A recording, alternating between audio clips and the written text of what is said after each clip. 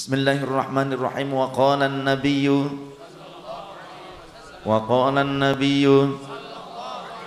Sallallahu alaihi wa alihi wa sahbihi wasallam Baginda Rasul bersabda Ashratun min hadhil ummati hum kuffarun billahil azim.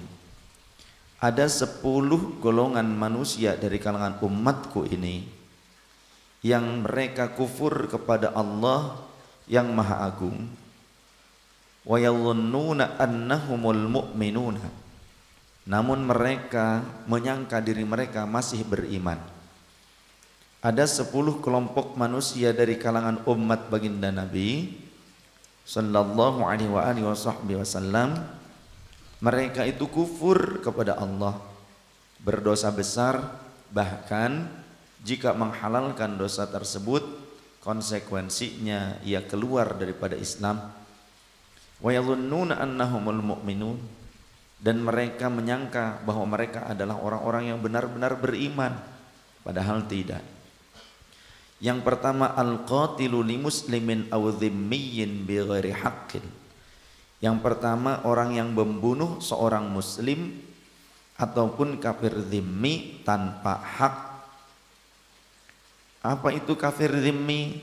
Kafir dhimmi adalah orang non muslim yang tidak memusuhi Islam yang bersahabat dengan orang-orang muslim, berteman baik, bersosial dengan baik, tidak membahayakan terhadap orang-orang muslim.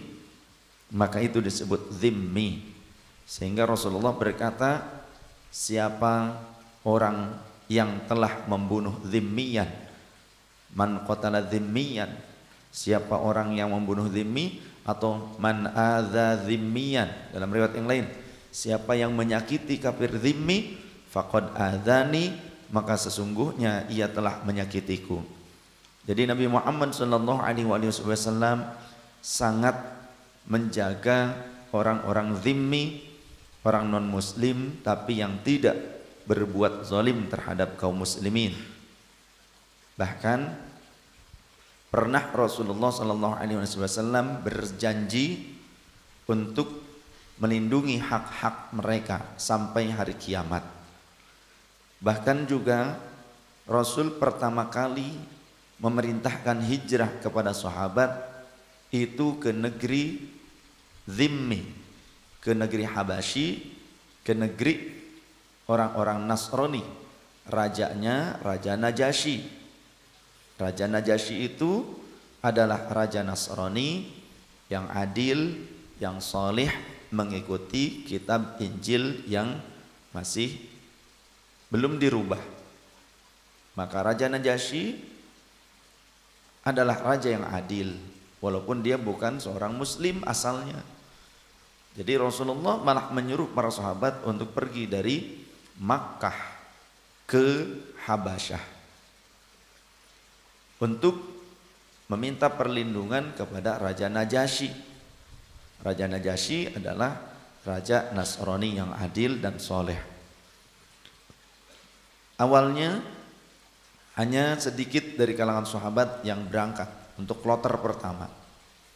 Namun kloter kedua lebih banyak lagi dari kalangan sahabat yang mereka pergi meninggalkan Makkah menuju kerajaan Raja Najasyi menuju Habasyi untuk meminta perlindungan di sana.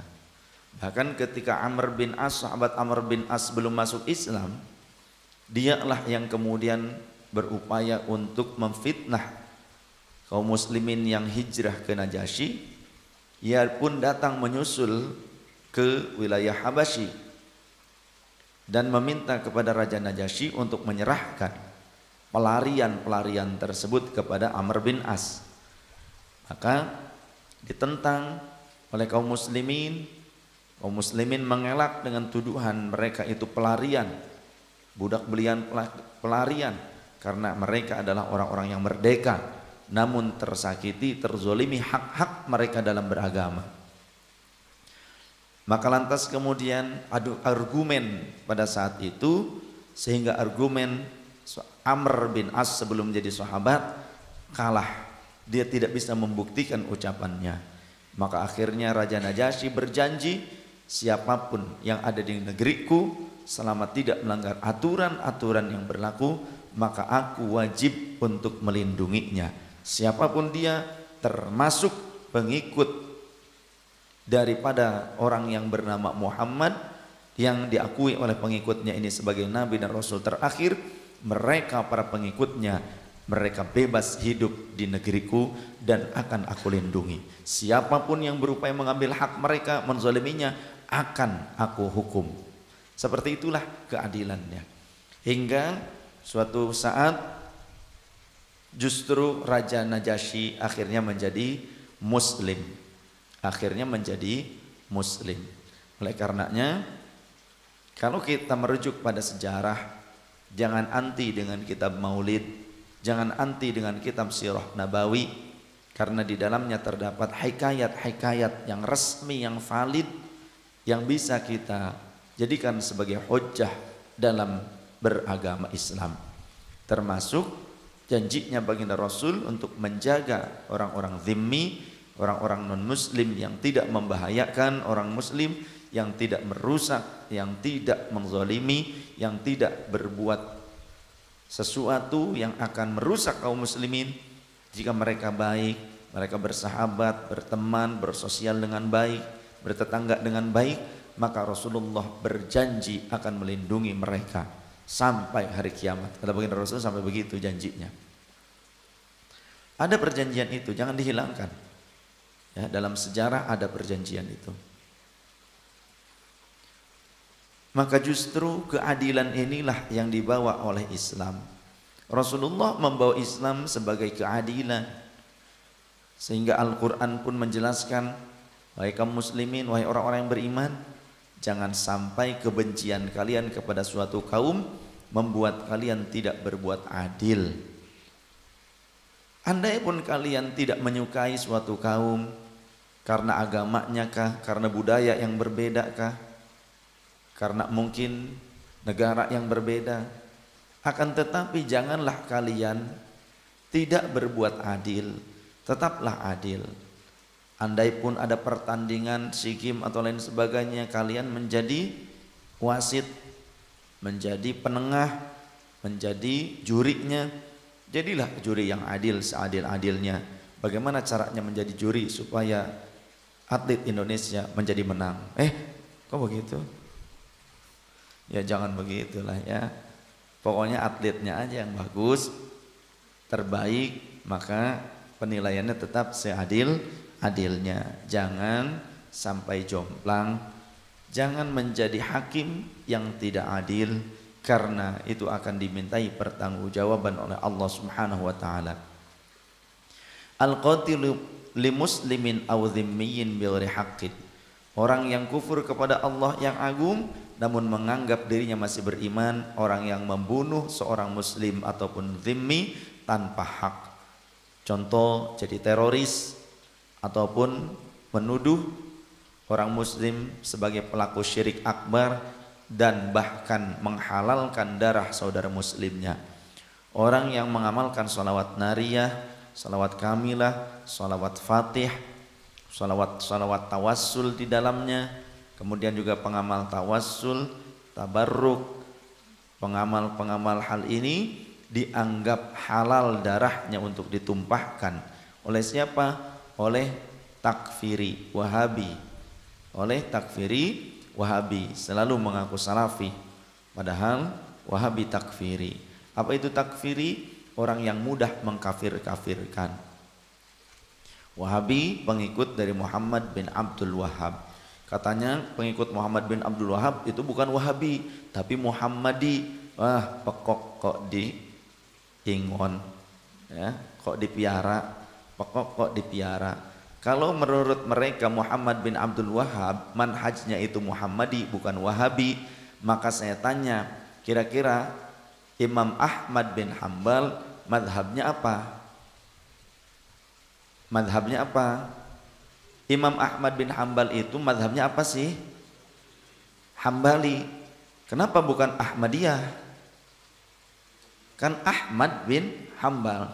Katanya Muhammad bin Abdul Wahab madhabnya Muhammadi. Muhammad bin Abdul Wahab.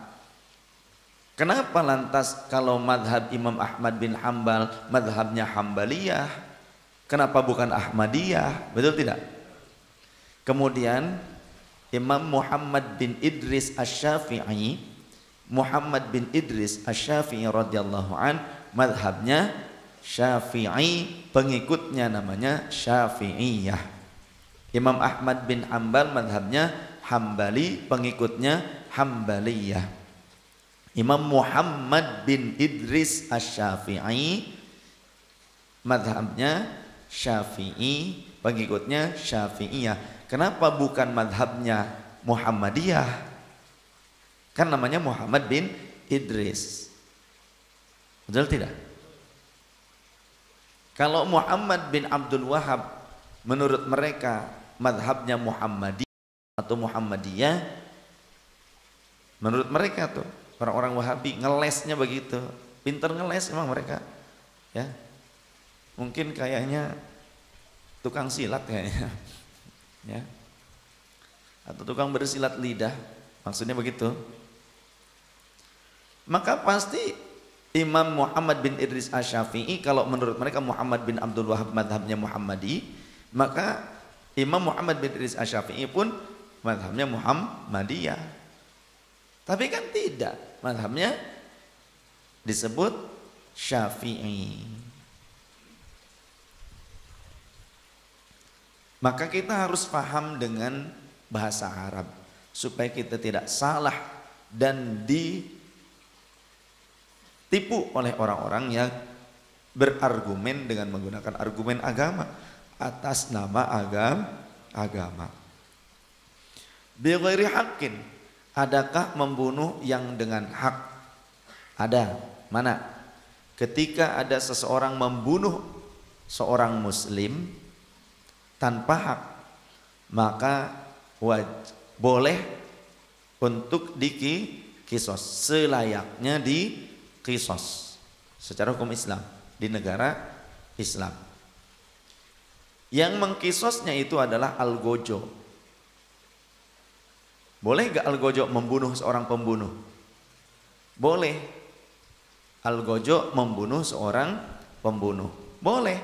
Maka pembunuhan yang dilakukan oleh Al-Gojo terhadap pembunuh teroris contoh maka berhak. Namun dengan syarat Al-Gojo membunuhnya harus sekaligus tidak boleh sampai tertunda harus mengulang eh, apa eksekusi berikutnya. Contoh dengan menggunakan pedang harus sekali sapat, sekali tebas.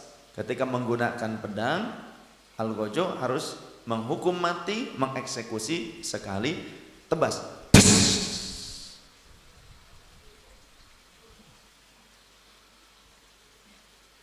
Tapi kalau ternyata tiga, tidak sekali tebas, tebasan pertama masih tetap hidup. Masih tetap hidup. Kemudian harus mengulang. Dengan tebasan yang kedua, maka sang algojo harus dihukum mati. Supaya apa? Tidak ada kezaliman pada saat itu. Ya, tidak boleh. Maka harus sekaligus dengan tembakan, dengan senapan biasanya ada 10 sniper. 10 eksekutor. Tidak semuanya ada pelurunya. Biasanya yang ada pelurunya itu sekitar 5. Yang 5 kosong. Yang ada pelurunya 3 atau 5. Selebihnya kosong dari 10 eksekutor. Tidak diberitahu mana senjata yang ada peluru tajamnya Selebihnya pelurunya peluru hampa. Cuma ceder doang. Kelihatan ada apinya, ada asapnya padahal tidak ada yang melesat. Semuanya membidik jantung. Sama semuanya membidik jantung. Diikat, berdiri ataupun duduk. Di aba-aba pada saat di aba-aba ya, maka harus terbunuh pada saat itu benar-benar jantungnya yang kena supaya cepat mati. Yang kedua, orang yang kufur kepada Allah yang Maha Agung namun ia menyangka dirinya masih beriman kepada Allah adalah wasahiru tukang sihir orang yang melakukan sihir menzalimi orang lain dengan perbuatan sihir. Ya, melakukan sihir apa itu sihir? Sihir adalah ilmu hitam ilmu spiritual yang juga melibatkan setan. Yang melibatkan setan. Dan umumnya tujuannya adalah untuk keburukan menzolimi orang lain. Itu sihir. Wadayyuthu alladhi la yagharu ala ahlihi. Yang ketiga adalah dayuth yang tidak memiliki rasa cemburu kepada keluarganya. Siapa sih dayuth laki-laki yang tidak punya rasa hati-hati khawatir kepada keluarganya yang perempuan ataupun yang laki-laki tidak khawatir akan terjerumus kepada kemaksiatan. Laki-laki yang tidak khawatir istrinya terjerumus pada kemaksiatan anak-anak perempuannya saudari-saudarinya atau anak-anak laki-lakinya juga sama. Dikencar begitu saja apalagi yang perempuan. Dikencar. Domba dikencar meteng beranak bagus. Anak perempuan dikencar meteng memalukan. Betul tidak? Nah, kalau domba dikencar kemudian hamil untung apa enggak? Untung apa enggak? Domba hamil untung apa enggak nah kalau ternyata punya anak diumbar belum nikah, pulang ternyata kemudian belendung hamil. Kenapa? Katanya ingin mengikuti Sayyidah Maryam katanya. Sayyidah Maryam itu tidak berzina. Sayyidah Maryam itu memiliki putra Nabiullah Isa alaihissalam bukan hasil kenistaan. Ya, maka jangan jangan seperti itu seolah-olah membuat narasi ingin seperti Sayyidah eh, mohon maaf Maryam tapi ternyata salah ya. Karena Sayyidah Maryam adalah wanita suci. Wa mani zakati. Berikutnya orang yang menolak mengeluarkan zakat.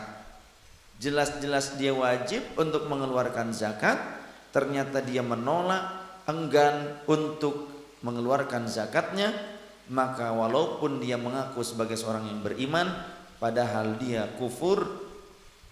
Yang dimaksud kufur di sini adalah dosa yang sangat besar. Namun jika ia menyangka dan meyakini perbuatan itu halal maka hukumnya murtad. Wasyaribul khamri dan orang yang terbiasa meminum khamr meminum arak khamr itu al khamru najsun. Khamr itu najis. Al khamru kullu muskirin. Dan khamr itu segala sesuatu yang ditujukan untuk memabukkan, menghilangkan akal sehat, apa pun bentuknya, maka itu disebut khamr. Kullu muskirin. Bentuknya apa pun, lem. Lem disedotin saja. Tujuannya untuk mabuk, maka pada saat seperti itu lem itu dikategorikan khomer kucubung. Kucubung dimakan dikaredok dirujak. Ya. Asal ngelihat air ngeyembang sedikit aja buka pakaian renang. Padahal mah bekas sisaan hujan di jalan. Disangka oh kolam renang dan biasanya mabok kecubung lama sampai seminggu ya stresnya tuh seminggu maboknya kecubung Padahal kecubung itu bijinya untuk pakan burung supaya gacor. Dimakan manusia, gacor juga manusia. Tapi kan nggak bisa dipakai untuk kontes kalau manusia. Burung dibawa kontes bagus, manusia itu yang gacor begitu. Karena mabok kecubung dijadikan kontes, kontes wong gendeng. Heroin bentuknya serbuk walaupun mahal, agak susah. Maka itu juga komer kemudian sabu-sabu, ya, putau, kemudian nipam yang murah 10 ribuan, ataupun inex ya rada mahal dikit lah 50 ribu. Ataupun ekstasi rada mahalan dikit 300 ribu. Tahu dari mana? Ah tahu aja. Apakah pengkonsumsi? Naudzubillah nggak mau. Tersudi najis abrik-abrigan tapi ke anak turunan ulah setik ya. Tahu dari siapa? Dari mantan-mantan pecandu yang sekarang menjadi jamaah ahbabur rasul. Total berhenti. Sehat sekarang alhamdulillah. Sallallahu nabi Muhammad oh iya di ahbabur rasul. Diterima. Lebih baik mantan preman daripada mantan ustad. Betul? Apa-apa yang penting baik. Ngaji tetap ngaji. Di ahbabur rasul. Ada yang dulu tukang menyediakan wanita stripis ada. Tapi sekarang jadi santri. Baik. Yang dulu tukang bacok orang. Ada sekarang jadi santri baik tobat. Jadi tukang zikir ngaji istiqomah. Ada yang seperti itu. Ya.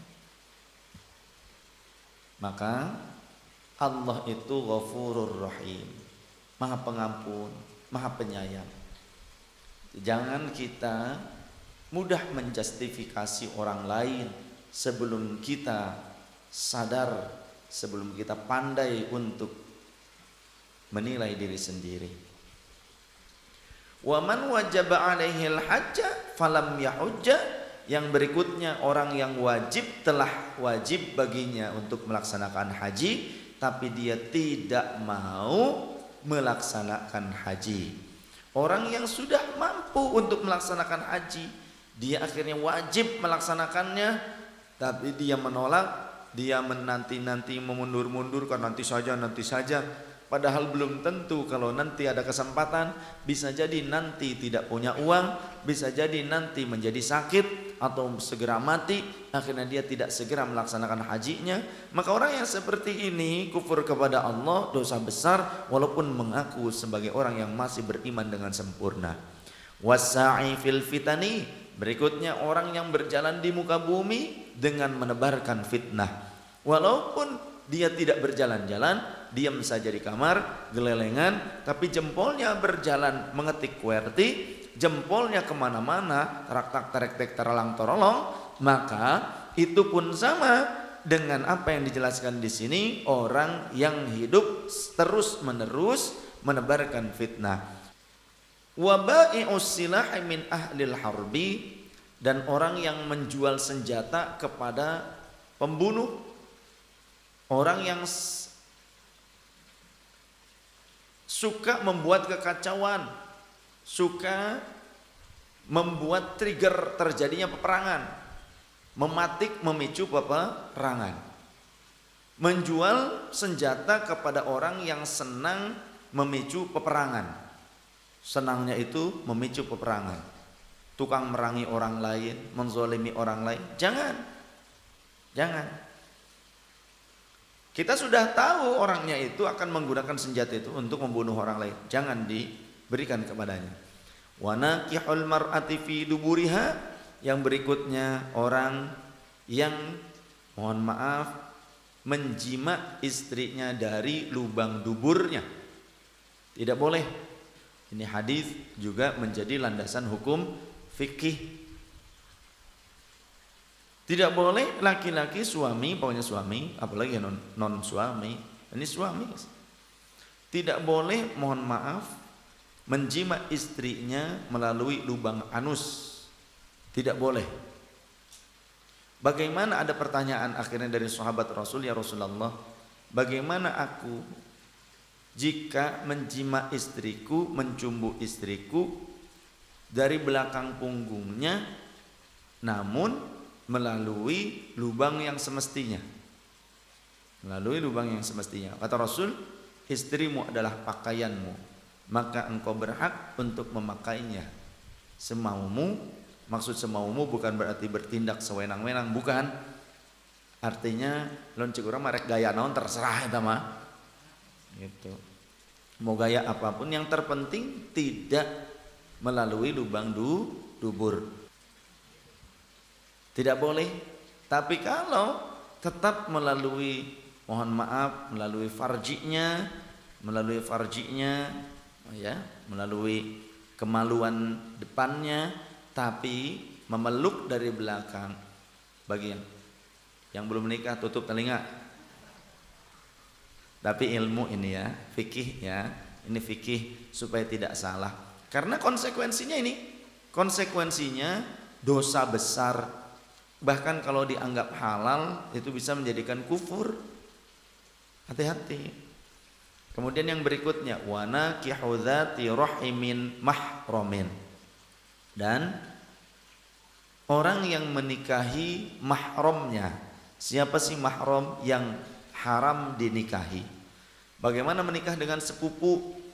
Sepupunya sepupu apa? Satu paha. Kalau satu paha berarti seibu. Bukan yang dimaksud anaknya bibi, anaknya uwa. Anak paman boleh tidak menikah dengan anak paman? Boleh. Boleh dengan sepupu, dengan misan itu boleh. Halal. Ya, menikah dengan misan dengan sepupu boleh orang tuanya itu kakak beradik anak-anaknya ini nih ya dari anak kakak beradik ini menikah. Itu boleh. Seperti kerabat saya ada almarhum Wadedeng dengan Wantin. Ya, jadi Wadedeng putra Am Ajangan Muhsin Wantin putra Nek Sawadah padahal Am Ajangan Muhsin dengan Nek Sawadah itu adik kakak. Nah anak-anaknya ini menikah akhirnya. Boleh? Boleh. Halal halal. Sah sah. Selama rukunnya terpenuhi syarat sahnya jadi jangan salah karena banyak yang mengira itu tidak boleh. Itu boleh dengan sepupu ya. Oh ada yang langsung oh saya oh ada yang diincer itu mau boleh mau atuh tiba hula asal jangan saudara sepersusuan. Contoh saya punya uak punya putri. Nah ketika kecil putrinya itu disusui oleh ibu saya Minimal lima sedotan air susu ibu saya keluar ya. Lima sedotan yang banyak. Sedot kenyot kenyot kenyot itu ya. Dan keluar air susunya. Minimal lima kali kenyotan sedotan yang banyak yang kuat. Dan benar keluar air susunya. Kalau tidak ada air susunya yang enggak jadi. Itu pun harus maksimalnya dua tahun hijriah umurnya. Jadi kalau sudah lebih daripada dua tahun hijriah maka tidak dianggap anak sepersusuan. Ada anak umur dua tahun setengah hitungan hijriah nyusu ditetein sama seorang wanita ada air susunya karena dia juga punya anak bayi jadi masih keluar air susunya nyedotnya kan kenceng banget ya kan senot senot begitu sampai kenyang sampai eh sampai gitu. Tidak jadi anak sepersusuan tidak jadi mahram. Termasuk ini ada yang nanya bagaimana Bib kalau saya sebagai suami nyusu kepada istri? Tidak apa-apa. Cuma jangan ngabisin jatah anak. Dan jangan lupa sikat gigi dulu karena khawatir Ketika rebutan dengan bapaknya, pas anaknya mau ditetein sama ibunya, anaknya nggak mau. Dek, nino dek, mau. Kenapa sih? Mau rokok, rokok katanya gitu. Ya. Jadi laki-laki sebagai seorang suami boleh netek ke istri, tidak masalah. Apakah jadi mahram? Ya tidak lah. Masa jadi mahram? Karena kan lu sudah lebih daripada umur dua tahun mesti jebrong gitu kumisan bewokan ah, botak saparo ya. halal tidak? Halal tidak mengapa. Ya. in alima hadhil af'ala halalan kafaro. Jika orang yang melakukan semua itu menganggapnya halal maka hukumnya kufur. Ya bukan hanya dosa besar makna kufurnya tapi kufur dia telah murtad. Kalau menyatakan halal. Naudzubillah. Ada pertanyaan?